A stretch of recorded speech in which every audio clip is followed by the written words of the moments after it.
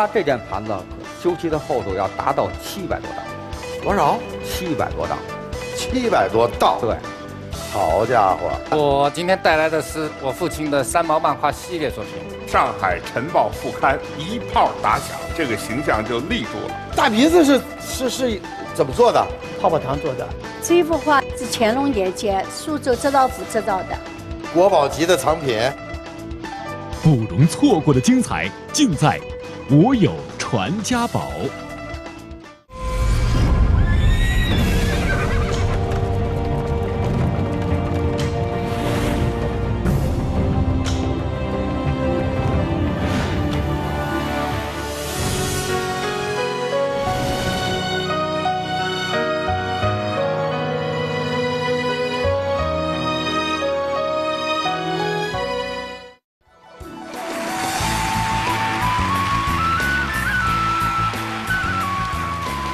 的家风家训，宝物中的文化传承。观众朋友们，大家好，欢迎您收看新一期的《我有传家宝》。接下来，让我们掌声有请我们今天的第一位传家宝持宝人，掌声有请。你好，你好，你好，您这还戴着白手套，对能握吗？来来来，好，一水儿的红啊，喜气。来来来，请坐。给大家做一个自我介绍。我叫李志刚，是这个非物质文化遗产雕漆技艺的代表性传承人。哎，来，我们欢迎李先生。那您今天带来的这些全是雕漆了，都是雕漆，都是。但是我这打眼一看，好喜庆啊！这扑面而来全是中国红啊！对啊，这个红色呢是我们中国人最喜欢的颜色，而且这个红色呢也代表了一种吉祥的颜色，也是一种喜庆的颜色。没错，您说的很对。其实，在民间，嗯，你像我们老百姓过年过节贴个窗花什么的，是是是。然后结婚，新娘子都得，对，穿的这个大红啊，对对，也也表示一种喜庆吉祥。对，您给我们讲讲，可能在座的观众朋友不一定特别了解啊，这个什么叫雕漆？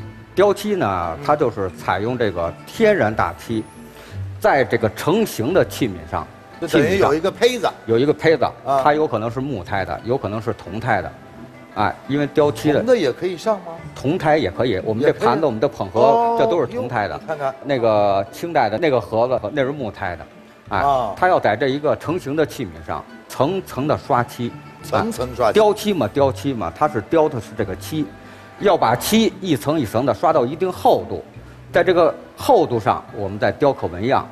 所以叫雕漆哦，明白了。来来，迫不及待了，您挨个给我们先介绍一下您今天带来的这几件传家宝吧。今天我带来的这几件传家宝呢，不是我个人的传家宝，它是我们整个工美行业的传家宝，甚至可以说是我们的国宝。这件呢是清代的万福锦盒，这个呢现在藏于这个北京工艺美术博物馆。啊。厉害，嗯，对，清代的，清代的，嗯，这件是这个当代的工艺美术大师杜秉辰先生的雕漆镂空花篮盘啊，然后剩下这两件呢，这两件呢，这个盘子呢叫丝路绽放，啊，是一个雕漆赏盘，嗯。那个盒子呢是和合之美，一个套装捧盒。和合之美，这两件这两件作者是谁？这个呢，其实呢是集合了我们行业里的这个设计团队和这个制作团队，嗯，哎，共同完成的这么一件作品。雕漆的部分呢是我来我来负责制作，哦，就是一个集体劳动的这个结晶。对，它是。但是雕漆最高难度的那块，对，您做的是我来制作，我把那上盘给您拿过来。好好好，嗯嗯。这我不敢上手啊，只能您上手。这样行。这个要拿吗？这不用了，这不用拿哈。嗯嗯。好，特别棒。但是这四件，但好像每一件好像都不太一样，风格上。是，您看这个清代的万福锦盒呢，它是就是完全按照这个传统工艺制作完成。体现的是一种清代的雕刻风格。清代什么叫叫什么风格？现在要总结的话，一个是这个上边的修漆，它并不是那么厚，而且不厚，不是特别厚啊，它可能有五五毫米五毫米厚的漆，然后雕刻的呢比较细腻。你看它那些刀棱啊，非常的明显，花纹啊什么的，对，雕刻的刀棱非常明显，这是它清代的一种风格。嗯。嗯，那咱下一件呢？这个第二件呢是七十年代，就是杜秉辰大师他来制作的一个雕漆镂空的这么一个花篮盘。它的这个特点呢，就是突破了以往的这种雕漆的技法。一个是体现在它修漆的厚度上，我们一般的情况下，二十层漆是一毫米，它这件盘子可修漆的厚度要达到七百多道，多少？七百多道，七百多道。对，好家伙！然后它修漆的时间呢非常长，修漆就可能占用得一年多的时间。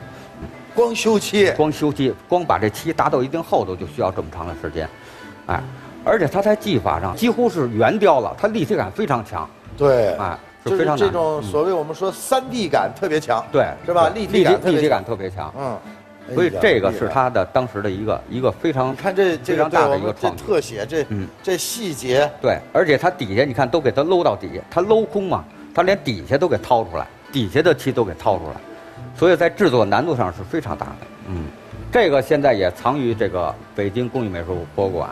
哦，嗯那么这两件呢，一个清代，距今有二百多年前的，再一个是上世纪七十年代的，是吧？哎啊，，这两件呢，现在呢是存在我们北京工艺美术博物馆，哦，特别是杜秉辰老艺人这个镂空的这个花篮盘，这是特意为我们今天录制《我有传家宝》对请出来的，对，它是现在是一级文物，一级文物。定为一级文物，是我们北京工艺美术博物馆的镇馆之宝。幸亏我刚才没敢上手。完了，这 个另经常上书，对上在我们上上过邮票吧？封封面啊封面啊，这是我们很难得就出了博物馆大家看到的，哎哎，有眼福啊！不行，机会难得，我得瞅一眼。同时，我们也请我们几位专家来鉴赏一下。看这这个特写，这这细节立体感特别强立体感。特别强。好家伙啊这是这是个假的。哎，这个呢？能开开，这能开开。开开。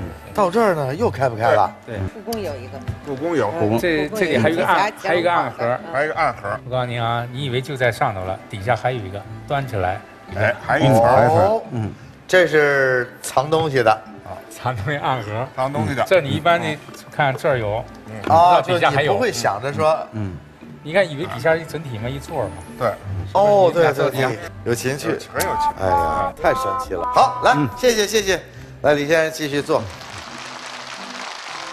这个雕漆小盒儿为什么叫万字盒呢？你看，如果从四个方向把四个小抽屉儿拉开以后，从上边俯瞰，正好是个佛教的万字。这个盒顶上呢，呃，又雕着寿桃和蝙蝠，比喻着万福万寿，寓意是非常吉祥的。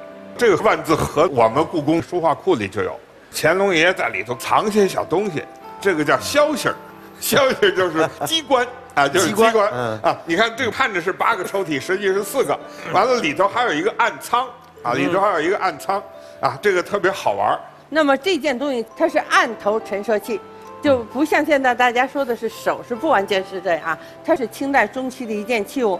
因为我们都知道漆器呢，我们最早发现在河姆渡文化当中，真正的雕漆呢是什么时候才开始呢？是从唐代才开始。大家知道，那个时候的雕漆很浅，一共它不超过五十道漆，跟李大师说的好几百道漆，那么是差距很大很大的。但是说我们是由那个呃那个时候发展起来的，明代的雕漆已经一百多层了，那么一层一层干了以后，再一层层的干，所以做一个雕漆是很费劲的。那么我们说清代的雕漆，它在的图案上比较繁复了。清代的雕刻呢，它的刀锋呢是直的，我们看它是直地快刀，就是说我们一个时代是一个时代的特点。那么我们说了，杜大师为什么做得好呢？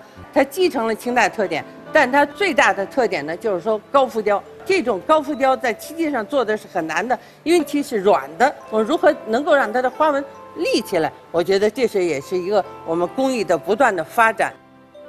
我特别同意这个张老师讲的这个，我特别讲一下这个我们七十年代杜秉成老艺人这个盘子，您就想想这个高浮雕，很多的镂空，它那个工具怎么下，它更难。对，据说杜老先生啊，就研究这个工艺研究了二十年时间。你看到最后七十年代做出来了，实际上从五十年代开始，在这之间失败了不知道多少回不知道多少回在研究它。哦，从工具上研究，从技法上研究，上漆上到多少高度，中间这个高度最高，大概要三公分还要多，所以就要七百将近七百道的这个漆。那么什么时候时机去刻它？时间长了刻不动了，时间短了太软立不住。您看它那个菊花瓣儿，你看菊花那么薄，要立起来，所以还有掌握这个时机。那么这些东西都需要去创新，都要研究。所以随着时代的变迁，随着技术进步，嗯，我们工艺美术的很多技艺都在发展中。好，谢谢，谢谢三位老师精彩的点评。您看这个锦纹，这上的锦纹，嗯它是由若干个小三角来组成的，这一个小三角就要六刀来完成。哥我大概六十刀，呃，不，那就我要来估计那您就磕烂了。啊请继续收看《我有传家宝》。好，我们看看您的这两件作品。刚才您说那个杜大师的那个得七百多道，七百多道您。这个呢？我们这个呢，修漆呢是六毫米，哦，二十多道是一毫米，我们这修了一百二十多道漆，也得一百多道。一百多道。而且您看这上的锦纹，嗯，它是由若干个小三角来组成的，组成的一个花的一个图案。这一个小三角就要六刀来完成，六刀，六刀才能完成一个三角。我们这一圈儿哥我大概六十刀。呃，不，那你就我要磕来估计那那那您就磕烂了，啊对，你知道吧？这不能烂，而且必须一刀到位。这锦纹必须得一刀到位，准准的准准的，而且它是有角度，必须得一刀到位。你还不能掉丝儿，一丝儿都不能掉，掉了呢你呢。掉了就是瑕疵，就是一个残品。哦，而且因为它这盘子的进深比较大，嗯我们在这刻这个锦纹的难度上又增加了很大，因为它这个弧度大，你这边下刀你根本就下不去。哦，对，那个那个对工具工具放不去，工具工具上这边挡着呢。它是有角度的，对哎，你工具就进不去，所以制作这个就非常费劲，而且你下刀的时候，你要跟这漆面要保保持一定的角度，你这脸恨不得都得贴在这盘子上去下刀，嗯哎，它才能找好这个角度，所以这一块儿它是非常难的。哎，我我我嗯我比划一下啊，你比如果你拿如说我要张笔，你比划一下都行 你可能你都觉得我有笔，哎，你拿一笔就这个吗？，对，哎，就这意思。你假这装啊我这边你别给你这弄烂了啊。对你这边怎么下刀？这你下刀，哎，你可能这手你看你过不去，还真是，它是刀子是有角度，还真是，对有的时候我们都得把脸贴在这盘子上这么着，哎，不是，那这个也得立着也得立着，就立着这么刻这是吧么刻，哎，哦。嗯你必须把这个刀的角度跟漆面的角度要找好。这一共多少个？这一圈呢，大概有不到三千个这种小三角。三千个，您算算，一个三角需要六刀完成，这一圈呢最少要一万六到一万七刀，七千刀。好家伙，可能一般人想象不到，说不就一盘子吗？你们雕雕吧雕吧就行了，对，还这么复杂？所以它在难度上，在工艺上确实有很大的难度。当时是多少个人在做？当时工期非常紧，我们整合了北京的所有这个雕漆的从业人员。本身雕漆呢，这个在这个北京的从业人员就非常少。我们先做的调查是不足一百人，而且呢，平均年龄都得将近六十左右。我在这里都算年轻的，啊，您还属于年轻的，我还属于年轻的 啊。您今年多大？我今年五十二，哟，嗯，六五年的。啊，六五年，比我小两岁。怎么入的这行？我呢是这个八零年呢在工艺美校，它有这个雕漆专业，然后呢八三年呢进入北京市雕漆工厂。我进厂以后呢就拜了文天刚大师，也是中国工艺美术大师。嗯，我的岳父呢也是这个行业里的大师。我岳父呢当时也是跟这个杜秉辰老先生呢在一块儿共事，啊，然后他们一块儿创作的这个木兰从军啊、周奎尔大屏，就这件这件作品。哇，这件作品呢，你看着非常的繁缛，而且雕刻的细节非常的精细，是包括你看那个仕女掀门帘儿的门帘儿的那种褶皱哈，它都给做的非常的清楚。啊对对对对对哎嗯，就门帘子那个一褶儿一对对，褶儿那些。褶皱他都表现的非常到位。也就是说，您一入这行，您就直接得到高人的亲手指点。是是是，平时呢，我在这个工厂里头，白天呢跟着师傅学哈，嗯，师傅呢就教导我做事儿要敬畏认真，就是做一件事儿你要有专注的这种态度，不能半途而废。回到家里呢，像我岳父也指点我，分享他们在创作时候的这个所思所想。嗯，所以我从他们身上呢，也看到了这种追求创新的这种精神。因此呢，就是这个敬畏认真、追求创新，这就成了我的这个家训传承，啊，啊也是我的传家宝，也是您的传家也是我的宝。传家宝。呃，创新方面，比如说拿这个牌儿作为例子的话，创新体现在什么地方？这个呢，等于是集中了雕漆工艺、花丝镶嵌工艺，就哦还有金属錾刻工艺。没错，你像这所以呢个？，在制作的过程中呢，它跟以往的雕漆呢，就难度就一下就增大了很多啊，啊。包括它这个旁边这些錾刻的部分，因为在光漆之前，我们要把这些錾刻的部分，我们要给它包好。哦，我们先包这个呀？先把这包好啊因为它錾刻的花纹我不能蹭上漆，我蹭上漆以后，最后它的镀金它会镀不上的。明白了。您刚才说这两种工艺，嗯，把它结合起来，最大的难度是什么？最大的难度是它两两个工艺之间的这种配合，它镶嵌的这个和这一圈的花丝的部分，我要给它预留出来，可预留出来，这个尺寸我要给掌握好，因为这都是手工的，可啊能稍微一不留神，它就会有缝隙，啊，啊，所以我们要给它做到就是怎么能让它恰到好处，它这往上一扣，正好严丝合缝。这都得论毫米算吧？论论毫米，真是得论毫米。而且它这个漆的时候，我们在制作的过程中呢，啊，它是软的，它干燥以后它会抽一点儿，抽一点儿哦。可能就扣不进去，所以我们事先还要把这个量算计好，这抽的这个量，抽的这个量也得抽的这算好。个量也要算好，哎，然后它往里一扣正合适，所以这个是这个工艺上这结合上这是有一定的难度，这就是需要绝对的精益，一丝不苟。一丝不苟、精益求精的这种态度。对，这太不容易了。来来来，我们把掌声送给李先生，真的不容易，这就是大师啊！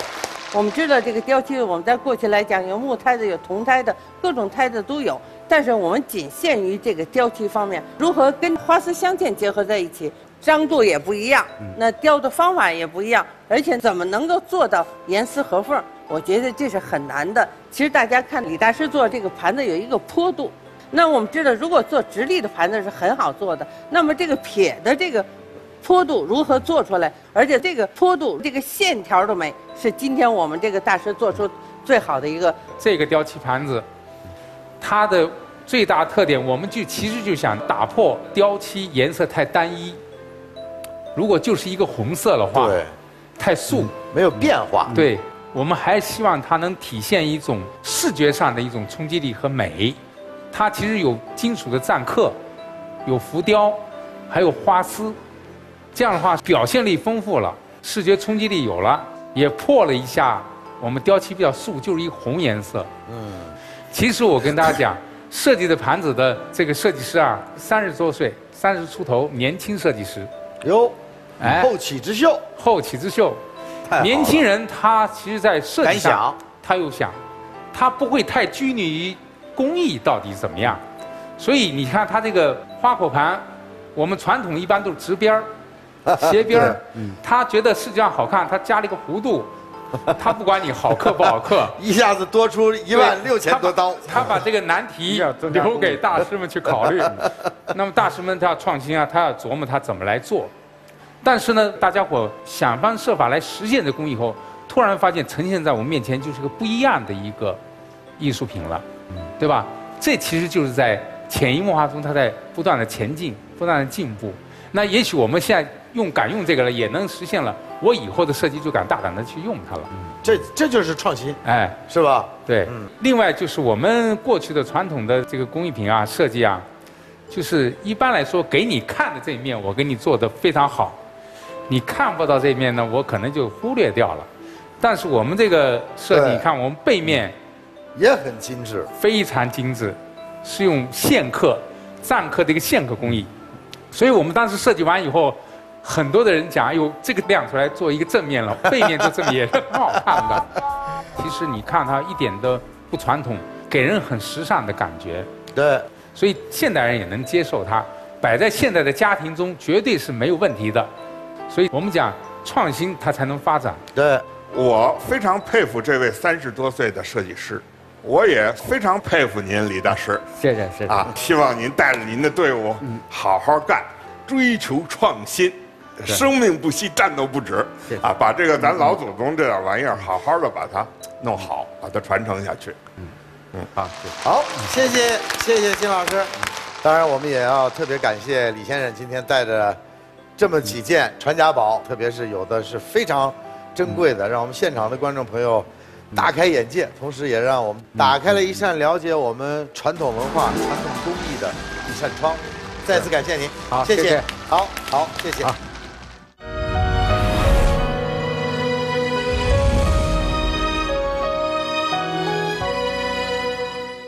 在节目开始之前，我想先通过大屏幕来看一段视频，来一起来看。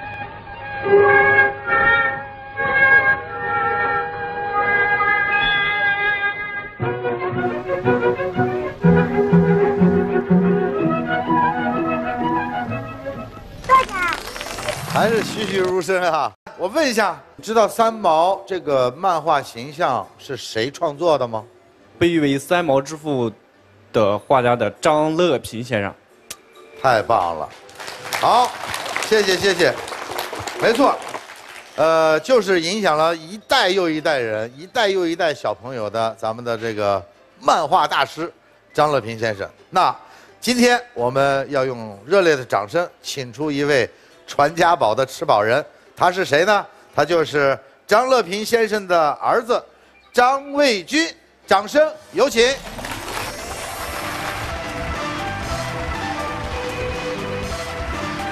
欢迎欢迎，来来，请坐。张先生给大家再做一个自我介绍，怎么样？我是漫画家张乐平先生的小儿子，我们家七个孩子，我是老七，呃老七，老七啊男孩排行是第四个。那您今天肯定给我们带来的是关于三毛的传家宝了。是啊我今天带来的是我父亲的三毛漫画系列作品，我看这些全是哈，对我们这边现在已经摆好了，待会儿咱们有时间嗯慢慢的品。今天我们有两位专家，呃，我们请了两位专家给我们先做一个这个直观的呃点评吧。呃，二位提到三毛，您第一想到的是什么？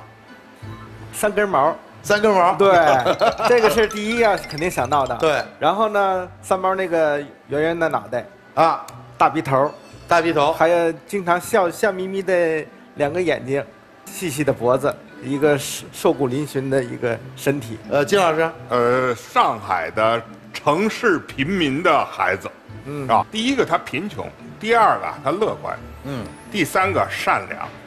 善良，别看穷，他活得挺乐，很开心，呃，对生活有着美好的憧憬。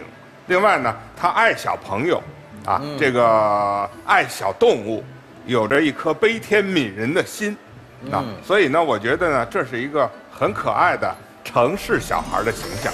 就是三五年的时候，我父亲画三毛的时候确定下来，啊大鼻子，光光头三根毛，嗯他所画的漫画里面有我父亲的影子在里面，有您父亲原型的痕迹。啊、难不成您父亲小名叫三毛？他倒不是叫三毛，但是家里倒是排行老三。以前南方人嘛，都是喜欢大毛、二毛、三毛、四毛，就这样。因为我我我我祖父是个教师，小学教师。这是您的祖父？啊，这是我祖父。啊。我祖父的就是收入啊也不高，我祖母就是很早就去世了。嗯。我父亲就是很小的时候就有种孤独感，他的画的三毛里面啊，有很多是他自己的自己的身世在里面啊，尤其是《三毛流浪记》里面有一段学徒在印刷厂学徒的那一段，因为他后来到了上海当学徒，曾经就在印刷厂里面当过练习生。你看这个前三幅看完之后，你觉得好像很正常啊。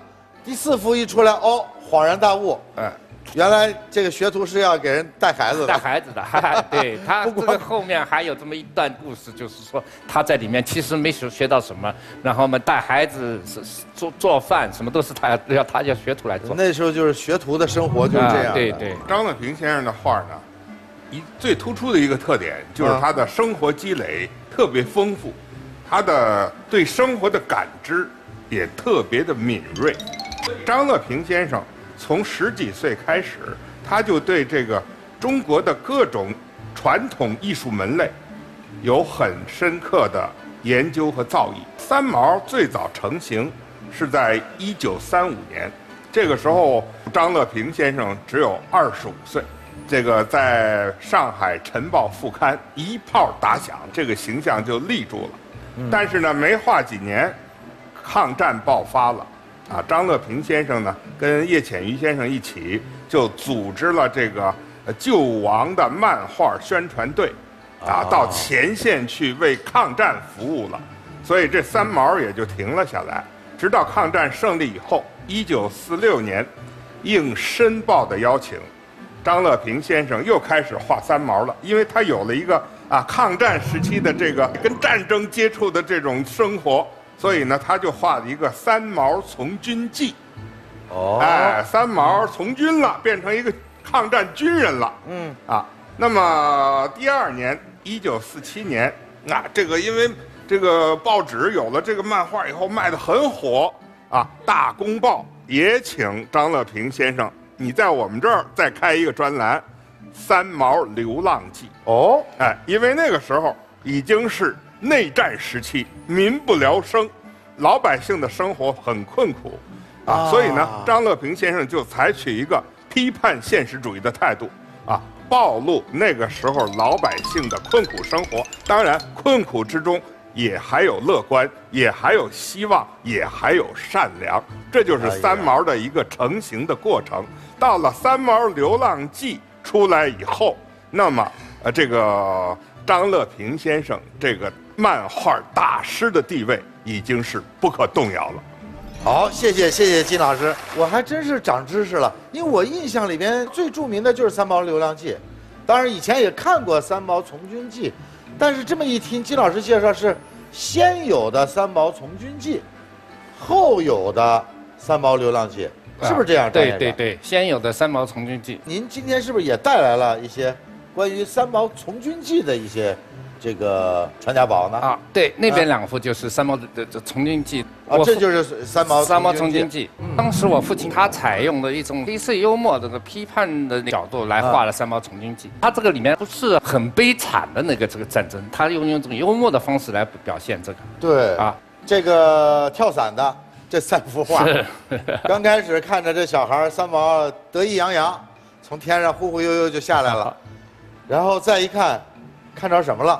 然后再一看，哇，这底下应该是一只一只狼吧？狼，这太黑色幽默了。下面一个就是，他得了一个奖旗，智智勇智勇双全。军官跟他一起合照嘛，嗯，这记者被他合照，因为三毛那个他个子矮，就把他举起来，举到后来成像是这么一个，只只有三个毛。《三毛从军记》就是一部抗战的作品。应该算是他抗战作品。中国的军旅漫画里面，他这部也是比较突出的一个，而且很有生活啊。对，他不是说简单的说一个小孩看到战场什么。你看刚才有几幅画，非常有生生活的，而且那个很有很有细节。是，就是我父亲参加抗战宣传队的时候，他就上前线写生啊，所以呢，他就是对他的那一段经历，他要作为一个描述。所以呢，父亲很喜欢这部作品。您父亲？您刚才说，他个他个人是更喜欢《三毛从军记》。您喜欢哪个？我还是喜欢《三毛流浪记》。流浪记。对啊，因为它的故事性比较强。这是三毛的，这个是《三毛流流浪记》。这是《流浪记》啊。这幅画的名字就叫《孤苦伶仃》。每一幅都有一个标题是吧？《三毛从军记》没有，《三毛流浪记》它每一幅有个标题，特别是这一幅啊，这一幅在《大公报》登出来的时候就引起很大的反响。第一个，他看到小羊有母亲，对，看到鸡有母亲。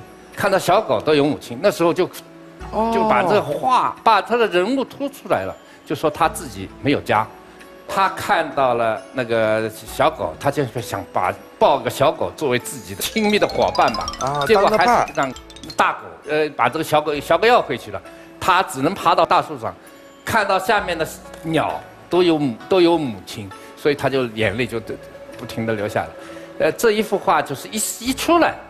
大家就是因为那个时候也是流浪儿很很多嘛，一出来就是引起了很大的反响，就一个文字介绍都没有，就完全就是整个这个这个故事或者这这表达的东西就出来了。这个如果这一幅画用文字表达的话就比较拖沓了，就是还不如这样用画面表达，这就是更人家说的漫画的魅力。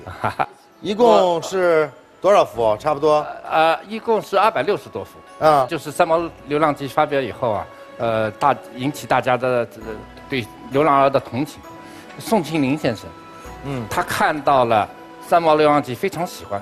他那个时候也是觉得中就是流浪儿非常多，那个他就要想要办一个三毛乐园这样的一个慈善的一个机构，然后来收留那些流浪儿童。所以他和我父亲一起联手，在上海南京南京路的大兴公司，就是后来的呃第一百货公司，办了啊呃义卖。那这两幅作品就是这一幅和这一幅，就是当时义卖我父亲画的几十幅画啊义卖，然后把那个《三毛流浪记》的原作在大兴公司展览。这个啊。队伍从大兴公司的楼五楼展览，观众从上面一直排排了南京路，这不这还绕了一圈，就看着就出了楼啊，马路上。啊，马路上。拐个弯，拐个弯，就是这些款筹了以后办了一个三毛乐园。当时有钱人不算，那黄包车的呢都纷纷捡囊，就是帮助这些流浪儿童。大鼻子是是是怎么做的？泡泡糖做的，而且什么做的？泡泡糖，啊管他叫张伯伯，张伯伯他管您叫弟。弟有两种解释，请继续收看《我有传家宝》。我们今天啊特别有幸，我们今天现场请到了当年三毛扮演者王隆基先生，让我们掌声有请。王先生你好，哎呀，你好，你好，我得。看看你，我看看你，我看看你，这这看着看不出三毛的样子，还是有一点点。你好，你好，来，来，让我们掌声欢迎王先生。好，嗯，您坐，您坐。您扮演的三毛太深入人心了。不敢当。呃，那就您给我们这个揭揭秘吧。当时这个三根毛，这大鼻子，大鼻子是是是怎么做的？泡泡糖做的，而且什么做的？泡泡糖，泡泡糖。哎，泡泡糖，我印象太深了。把那个糖去掉以后，然后做胶母，就是每天化妆画个鼻子。就这个照片上这个大鼻子，哎就这个大鼻子，这就是用泡泡糖粘上去的。哎，捏上去的。这你多大？我八岁。八岁。哎，是六十六十八年前了。啊，当时我拍电影的时候呢，张伯伯呢，他给我同吃同住。啊，这是你们在一块儿的照片吗？对，我们在现场拍的时候呢，呃，张伯伯跟我合呃合的影。我看您刚才还是带了一幅这个传家宝。啊，对，一个是这个张伯伯亲手画的这个啊就是一个漫画，颜色退得很很厉害了。哦他又画的水彩画，他是很很很少画的。他这个画了好几年，因为当时他手抖啊，这个就是他给我画了。隆基地，哎，什么个意思对吧？您管他叫张伯伯，张伯伯他管您叫弟。我跟你讲，弟有点乱呢。不不不不不，弟 有两种解释啊，一种解释呢兄弟的弟，一种解呢对自己的下一辈儿的一种认可和承认。隆基地对我是最高的一个就是奖赏了，所以我是一直把它呃珍藏的。那么这幅嗯作为我们家里头这就是一个呃传家宝。好，哎、另外的话呢，还有一个就是一个徽章。就您现在这个哎，这个徽章，领上别对对对。的这个吗？，你你别看这个徽章，一九一九四九年，就是那个宋庆龄。宋庆龄那个呃义义卖的时候，那么他呢就是拍电影的时候送给我的，这个纪念章啊非常有意义，它是用铜皮做的，很简单，嗯但是呢他画了一个三毛，拿了一个话筒，后面一个乐园，因为我父父亲母亲都非常喜欢孩子，他并不是一个有钱人，是吧？但是他对钱也不是看得很重，嗯，所以呢，他就是会经常会帮助需要帮助的那些人。请请我们的两位专家来上场，我们一起来看看张乐平先生的这些作品，好吗？来，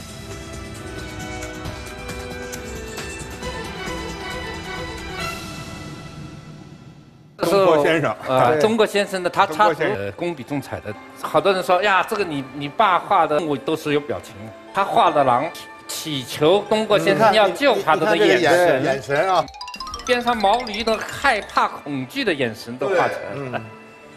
这个是获奖的那个，这个是获奖的，他获奖几几幅作品，这啊这一幅是其其中一幅的呃年年画。年画，描写当时农村的那些体的幼儿园。再再再仔细看看，这他也是这些衣纹啊，他是那个嗯明暗关系也处理的非常好啊，特别是这是得有点像画小孩儿这个感像工觉笔画啊，对，还是按中国的工笔。工笔画这工笔画，这是典型的，对，我觉得金先生说的就是这个，啊。张先生是画小孩儿，他不光是画，不光是画三毛啊，你看这每一个小孩儿都特别的那个。几十个传神小孩儿态和都不一样。好，来，谢谢谢谢谢谢二位，来，二位请坐。呃，张乐平先生呢，呃，他一生在为儿童呐喊，也是一位专门为儿童创作作品的一位画家。他创作三毛这个代表形象，呃，无论《从军记》，还有这个《流浪记》，到解放后，还有这个《三毛学雷锋》等等，呃，这些作品呢，到现在，我们几代人都在看他，而且每次看大家都会都会捧腹大笑。所以呢，三毛这个形象呢，它作为一个经典的形象，享誉国内外，这也是我们国家作为以一个漫画形象能够传承到现在的唯一一个。张先生呢，对于呃国家，对于民族啊是无所保留。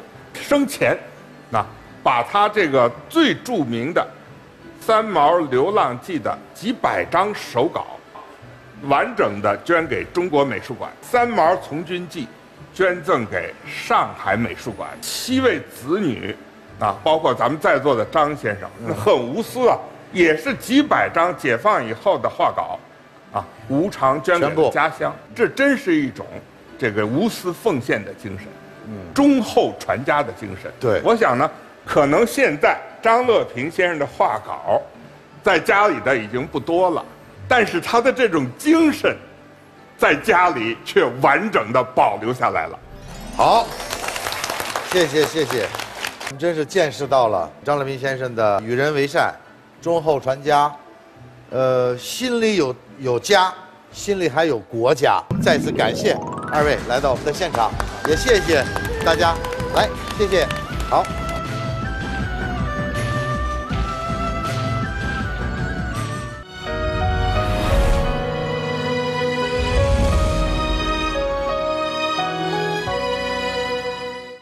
好了，在我们请出下一位传承人之前啊，我想先来请大家看看我们现在台上的这两件宝物，呃，这可以说是国宝级的。像这件袍服，这是哪朝哪代人穿的？有人知道吗？我觉得它应该是宋代的吧。宋代的。对。好，来，它应该是明代的吧？明代的，我认为它应该是清代的吧。清代。好，来，谢谢啊。来，我们再看这件宝物，这幅画，咱猜一下，什么质地？是布做的，布做的。对啊，这个作品的质地应该是丝绸的吧？好，好，好，来来来，请坐，请坐，谢谢，谢谢。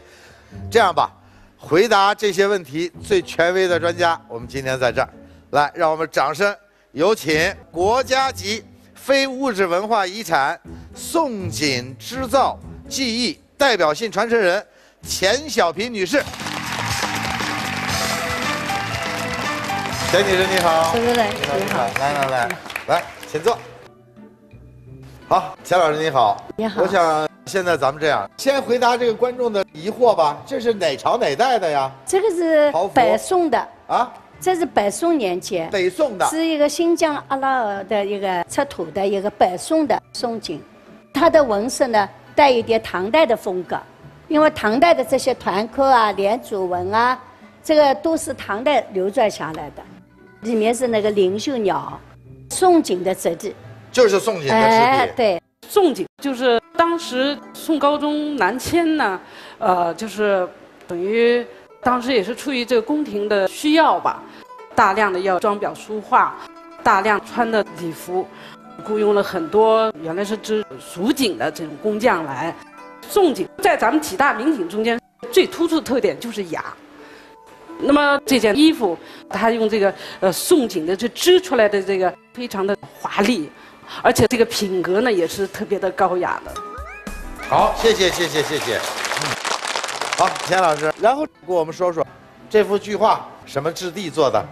这幅画呢，全部是桑蚕丝，真丝经过炼了以后，染各种颜色，多种的彩色丝线，把它一层一层就是分别，变成这样摆置的。所以刚才有复的观众说他觉得可能是布做的，不是肯定不对，是吧？全部是生产式，属于宋锦的土着，叫宋锦极乐世界土着。原件是藏在故宫博物院，是乾隆年间苏州织造府制造的。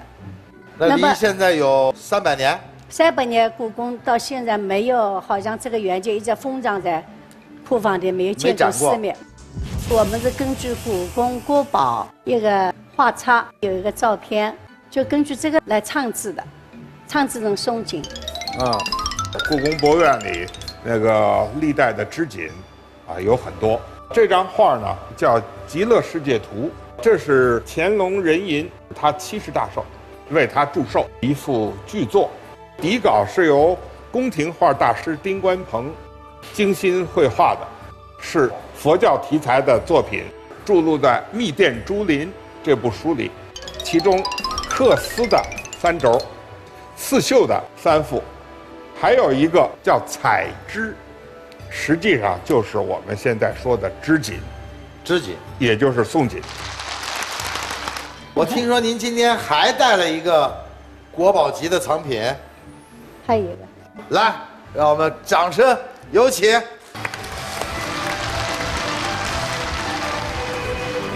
好，这个是新疆民丰尼雅遗址八号墓出土的一件叫“五星出东方离中国近”，它是一个护宝，护宝，护臂，护臂啊，就是汉代的汉晋时候的，嗯，呃，一件宝物。呃，这个上面就有“五星出东方”，哦，还真是，呃，对对对。是中国八个字。我这个是复制留下来的样品，样品，那正式就是这个。正式就这个，哎哎啊。哎，藏在新疆博物馆。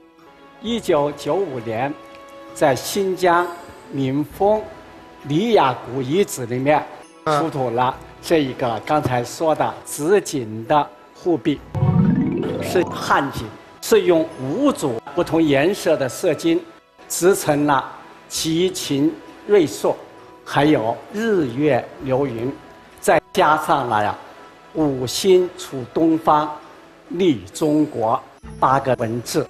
在《史记》《天官书》和《汉书》天文志中都有。如果五颗星在东方集聚，在当时被认为是最吉祥的天象，大吉大利，大吉大利。嗯，因为他当时有些军事行动，所以有这么样一个天象的吉祥的一个语。嗯，当时岳峰先生是中日联合考古队的队长。有啊，队长，当事人在场，当事人在场。我非常有幸，呃，参加了尼雅遗址考古发掘。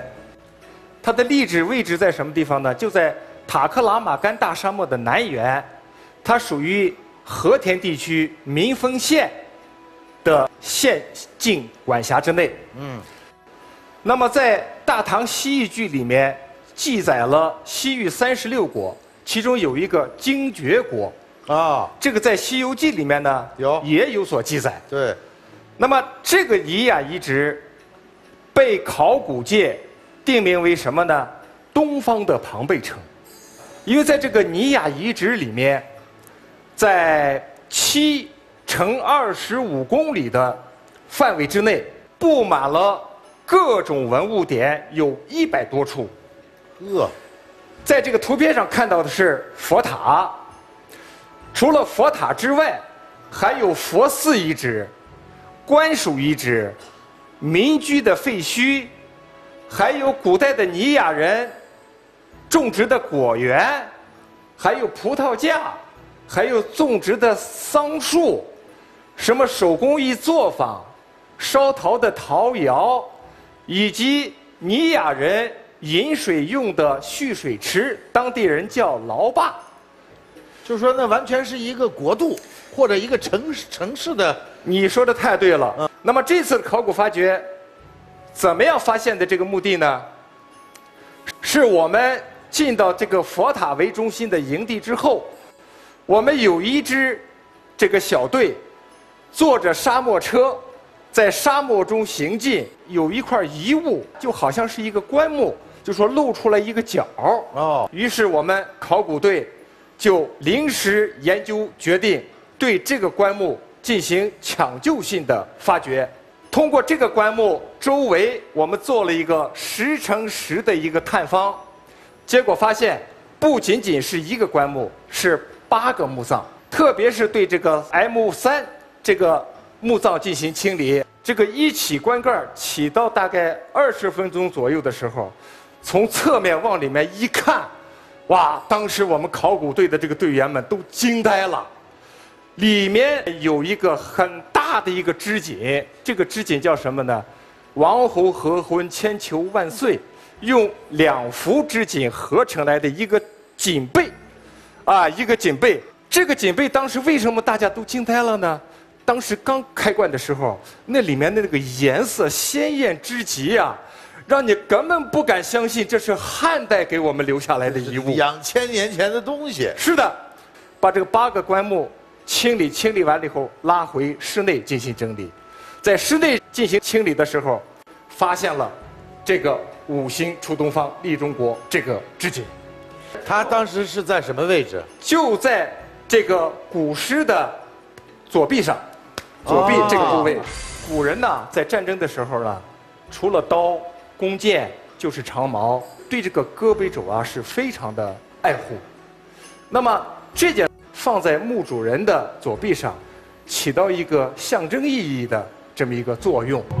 他织了八个字“五星出东方，利中国”，代表了我们古人对天文现象的认识。有看过汉武大帝吧？对，汉武大帝在西征讨伐匈奴之前，就有一个镜头，他和司马迁在观象台上看天象，看天象。嗯，最后的落脚点就是五星连珠出中国，讨伐匈奴。另外就是它的这个艺术上，在小小的一块织锦上，除了云纹之外，还有四个吉祥物，是吧？这个瑞兽是代表着辟邪，虎是代表着王，孔雀代表着美丽，还有鹤代表着长寿。那么这件文物，当年九五年就被评为中国九五考古十大发现。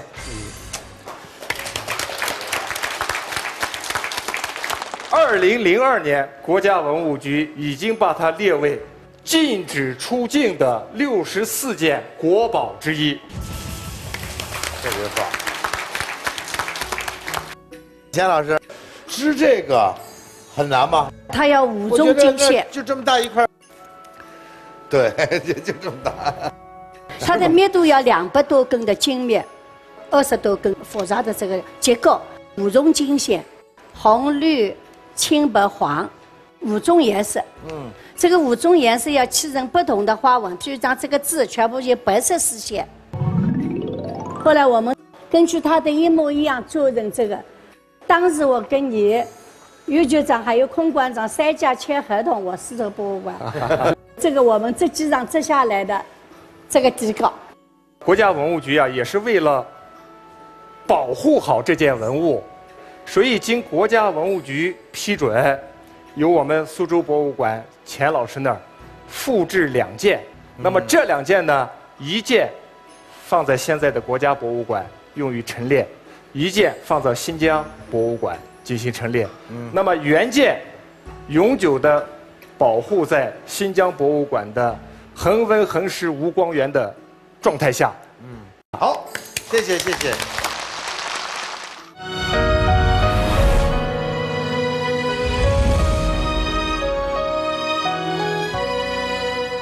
好，在今天节目当中呢，我们又见到了几件传家宝，呃，他们是呃漫画大师呃张乐平精心创作不老的三毛。同样呢，我们从宋锦技艺传人呃，钱小平女士身上看到了对于我们民族传统文化的一种责任和担当。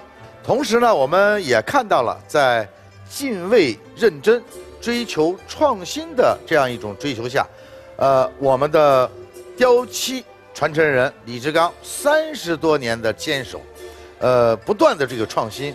好了，感谢您收看我们今天的节目，我们下期节目再见。夫君子之行静以修身俭以养德。引自诸葛亮的诫子书